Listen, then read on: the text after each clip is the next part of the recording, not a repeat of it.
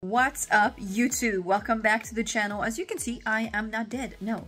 So I just wanted to hop on cam because I know the last few videos were just voiceover and some people have said that they liked it less than when I'm on cam. This one is gonna be kind of the same. I will record some videos along the way of the video, but it won't be that particular day. It's gonna be today, which is April 27th. I apologize. I really have a lot of stuff to do and editing those videos takes so long. It takes so much work. It's kind of overwhelming and those first two weeks of April, I really didn't really record anything because I thought I could do it on voiceover, which I am gonna do. Anyway, welcome back to the channel. This is the first order that I got, 4.9 miles, $24 on Uber Eats, which is a pretty good order in my book. So for this order in particular, she was kind of far. She was like almost 5 miles, and she lives not too far away from my place. I don't really like going there because it's not really an area that pays really well. I used to do DoorDash and Uber Eats in that zone. A lot of apartment buildings, a lot of no tippers, a lot of low tippers, but this one was pretty good. It was a house, it was a leave at my door, so I didn't really have any issues with that order.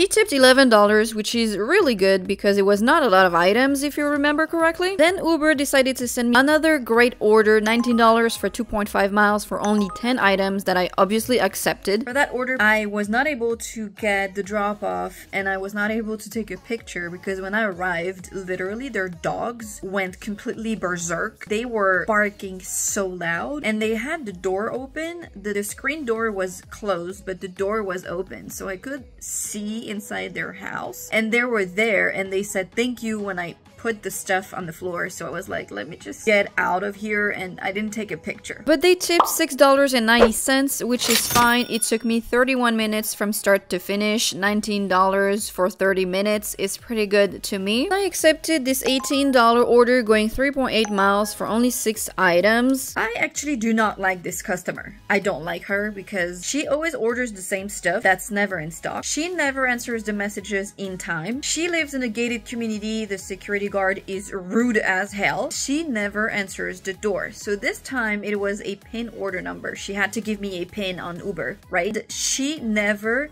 ever answered the door. I knocked, I rang the doorbell, I waited. I had to bypass the pin number because the, nothing else was happening, even though she was there. She's always there. When I rang the doorbell, there was like a voice who was like, please, you can leave the groceries at the door. And I was like, I need a pin number. I need the pin number. And she would just not open the door. And also, she doesn't tip well. She orders a bunch of stuff that's expensive and she does not tip more than $5. She tips $5 every time, no matter how big or small the order is. And that day was no exception. $5 flat tip was what I received, and I had to bypass the PIN number like I said. I don't like doing that because, you know, they can always claim that they never received the order. And I received my first DoorDash order of the day, $22 for 0.8 miles for 26 items, which is a pretty good order as well. And I stacked that DoorDash order with an Uber Eats order for 1 mile, $18 for only 9 items. So again, I shopped both orders at the same time and I went to deliver both orders at the same time. It was a pretty easy stack because both orders were actually going to houses. Both orders were leave at my door. Both orders were super easy to shop for. So I really can't complain about this one. It was a great stack.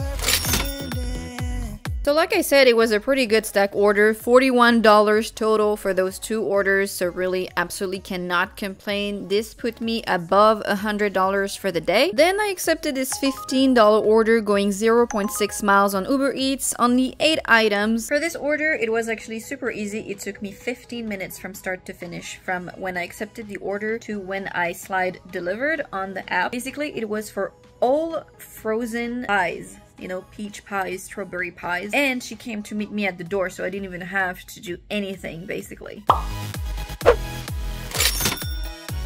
And she tipped $7.56, which is pretty good for only 8 items. And I accepted this anomaly of an order. 1 mile, $32 for 4 items, but 25 units. That order was for a regular customer of mine. I deliver to him almost every week. His name is Frank, and basically, he ordered one pack of dog food, I think it was 25 pounds, six bottles of bleach, and he ordered the rest of the items were individual cans of liquid death, the sparkling water. I don't understand because they have packs of that, but he wanted, I think it was like 12 or 14 individual cans of that. They didn't have the individual cans. They only had four bottles of bleach and they only had like, I think one of the can of liquid death. I sent him a message and I was like, you want a pack of that? Because they have the same amount of cans that you want in a pack and it's literally $10 less. And he was like, yes, let's do that. So there was something else. I don't remember what it is right now, but there was something else. It was the easiest order I've done in a long, long time.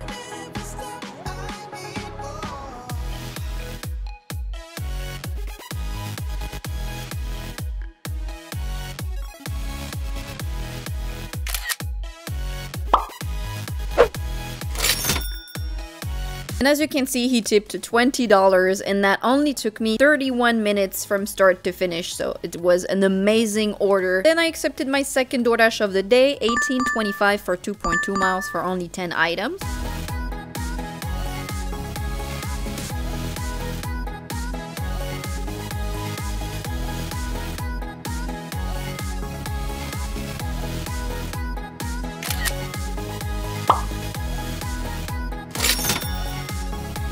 Tipped $6, which is pretty good. The only problem is that where he lives is just all traffic is going in that direction. But sadly, I can't do anything about it. And on my way back, I got this amazing order, $34 for 2.7 miles, 25 items, 28 units on Uber that I obviously accepted. So for that order, I don't know if you guys remember the lady who gave me like the La Croix drink one time. She gave me like a to-go cup, whatever. That lady is that order right here. And so basically, she always has a pin number because she orders a bunch of stuff. She's an amazing tipper. Her house is in like a really narrow street, but honestly, it's not complicated to go there. And she's really, really, really nice. And she tips really well. So this time it was pretty easy 25 items. She answers the phone if you call her, but she's not gonna answer the messages. But usually she approves all of the replacements that you get because her stuff is not really complicated to get. So that was an amazing order. I love shopping for her. And this time was no exception. $20 flat tip. It took me an hour and 10 minutes to shop for that and deliver.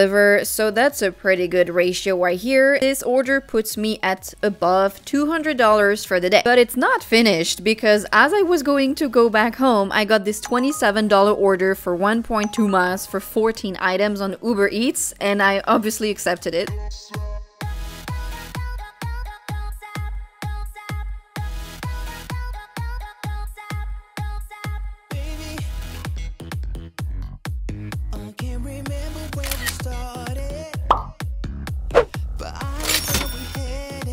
I don't know this customer, I've never delivered to him before, but he tipped $14. It went down a little bit because I had to refund like one or two things, but $14 tip who is going to complain about that? So the grand total for the day is $234.33. I completed 10 orders and I was online for about six hours. It doesn't really mean anything this active time because like I said, I do Uber and DoorDash at the same time. And sometimes I shop at the same time for two orders. Active time on Uber and DoorDash actually add to each other, but I don't really take into account when those two times are actually simultaneous. Probably less than six hours that I was active on active time. Because of that reason that's why i never give my dash time or my active time because it's just it's useless at this point. So the average dollar per order the average dollar amount per order was $23 which is pretty amazing. $23 per order on average. And if we actually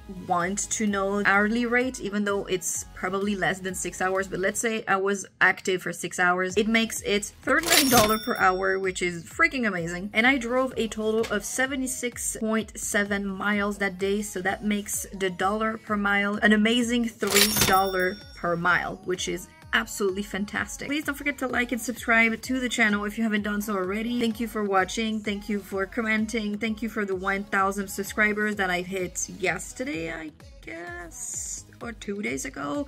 Thank you for all of that. My next big step is to get 4,000 hours of watch time. I'm at about like 3,000 right now. And then I will be able to be monetized. Not that I'm planning on being a millionaire with those videos, but it's like, it's a milestone that I wanted to have since I opened this channel almost nine months ago. I began the channel, I think in June. Then I took a long break in August. I don't know if you guys remember. And then I went back to posting around September, October. So it hasn't been even nine months that I'm really, really consistent with that channel. So I'm really happy with hitting 1,000 subscribers already. And after I will get 4,000 hours of watch time, I will be able to be monetized. And that was the big milestone.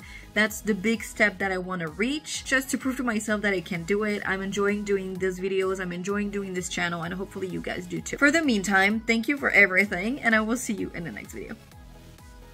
Peace out.